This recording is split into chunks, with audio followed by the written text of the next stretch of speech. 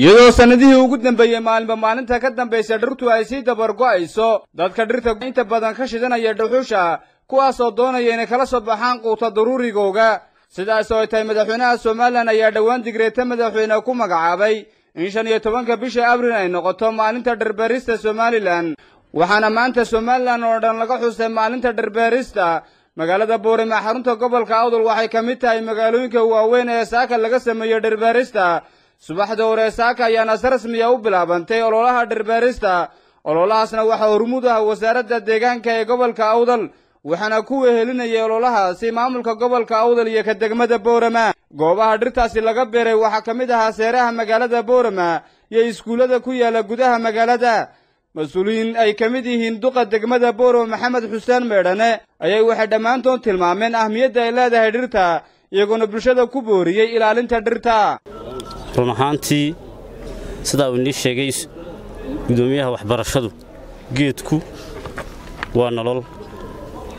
Nolosha waxaa u horreeyaa waxaynu neefsanaynaay een qaadanayna waa hawo. Hawadaynu neefsanaynay. Noolaha kaleo dhanni kaarbon dayoksayd buu sii daayaa. Isagu si ogsojiin taynu qaadanaynu sii daynayaa noloshuu ka qayb yahay maadaama ay nolosha daawona u yihiin hawo laga helayo hadh laga helayo aakhirana qofka geed beera. Xadiiska nebigu waa kii noo sheegay jannada ayaa geed looga beeraa. Inta bili'aadanku geedka ay ka faa'iidaysanayaan. Waxaan mar labaad haddaba haddii aan ahay duqii degmada dadweynaha ku nool xaafad walba faraynaa inay geed beerto. Geedkaad beerataa fi akhriba waxbaad ka helaysa sidaa daraaddeed waxaan iminka fariin labaad u dirayaa degmooyinka iyo deegaanada hoos yimaada gobolkan. Awdal oo aan leeyahay geedaha ha la beero geedka dhirta ha la beero miyi iyo magaalaba halkan aynu joognaa waa seerihii boorama. Seeraha isaga ah waa la wada garanayaa siduu ahaan jiray.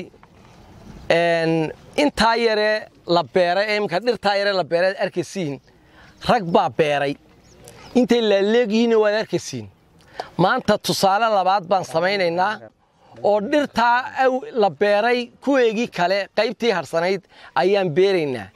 Annaga oo tusaalaha ka qaadanaynaa tusaalaha madaxweynuhu bixishay annagoo ka qaadanaynaa kabadho saabka uu bixinayo waxoo dhan baan annagoo ka qaadanayna waxaanu arkaynaa in deegaankii isagaa siduu u baaba'ayo. Marka inaan geed beerno faa'iidadiisa cid walba way garanaysaa. Marka insha allah hal keliya uma odhanayaa marka la leeyahay dhir in geed la beeraay dhammaan noolaha kale oo dhan waxaa dha waa consumers waa quute laakiin dhirtu waxa weeyaan waa producers waa wax soo saar.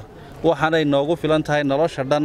Waxaynu u baahannahay wax la dhahda oxygiinta shayga keliya laga helo. Ayaa cuntadeenna iyo oxygiintaan qaadanaaba waa dhirta.